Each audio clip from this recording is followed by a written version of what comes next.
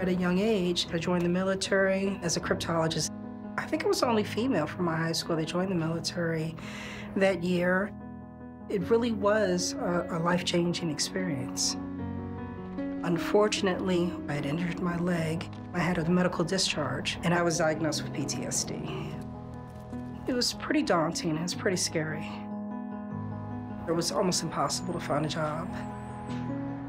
We lost our house. I was sleeping on the floor with just blankets.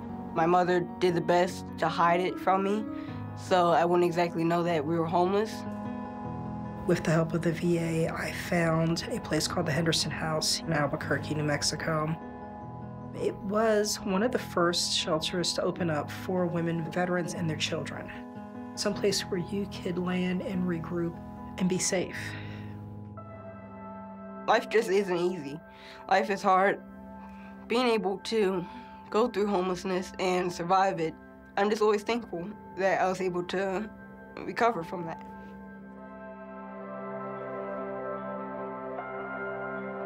When we moved to the Henderson house, he was having a hard time, and I asked him how we'd make it fun. And I thought, why not learn how to make soap? He was hooked. He just loved it so much.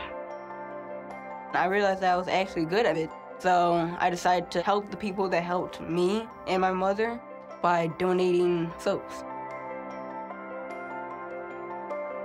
Volunteering is important to me.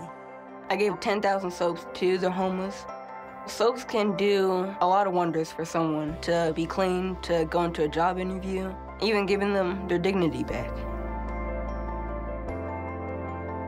I love knowing that maybe one of my soaps could be helping a kid that was going through what I was going through. Whether you go into the military or you do volunteer work, we all live in this country. We all have something to contribute. I'm extremely, extremely lucky to have you. Lucky to have you, Mom. My mom's my hero because she focuses on other people and making sure that they're all right. That's one of the things that I try to continue wherever I am.